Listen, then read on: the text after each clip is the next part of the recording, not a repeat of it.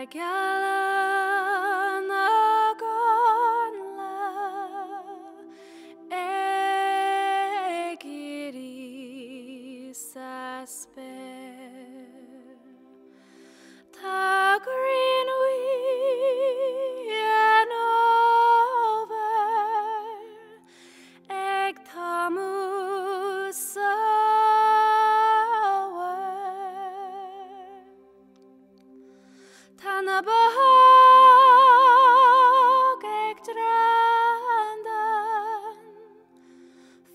sunshine.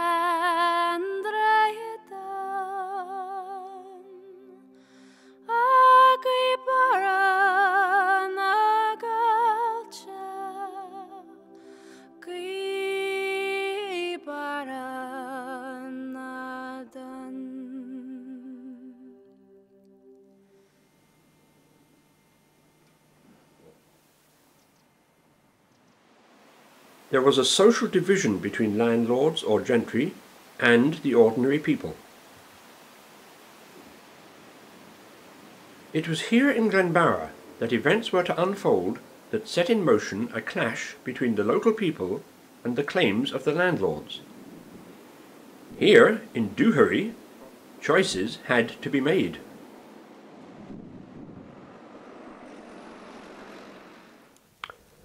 Allow me to take you back to 1906, the 31st of January to be more precise. It was on this day that the Marquis of Conyngham and the Earl of Mayo commenced an action in the High Court to establish their exclusive title and use thereof to the Gweebarra fishery. This action was to initiate a chain of events that was to conclude with a victory for the local people along the Gweebarra. The legal sparring had already begun during the previous year.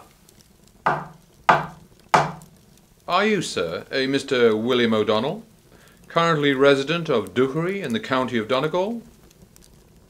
I am indeed. Then it is my duty to serve you with this injunction on behalf of the Marquis of Conyngham.